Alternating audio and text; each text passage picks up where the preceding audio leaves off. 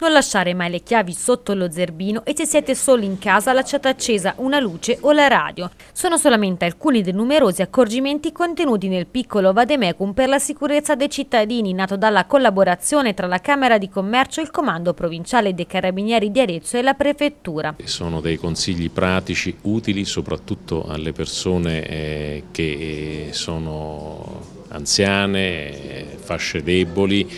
eh, ai quali va spiegato come possono cercare di difendersi eh, dai furti, soprattutto dalle rapine o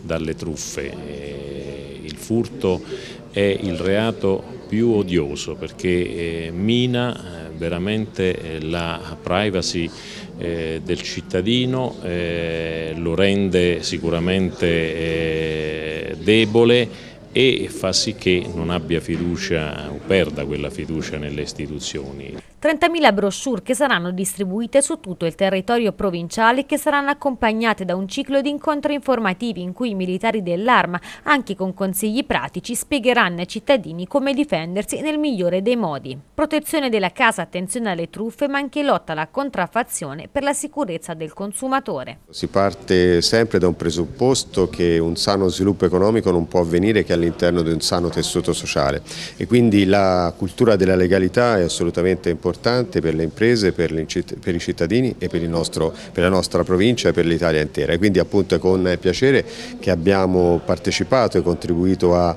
a fare queste 30.000 brochure all'interno delle quali ci sono tutta una serie di consigli che talvolta sembrano scontati ma di fatto non lo sono e quindi eh, è assolutamente importante divulgare e promuovere questo tipo di iniziativa.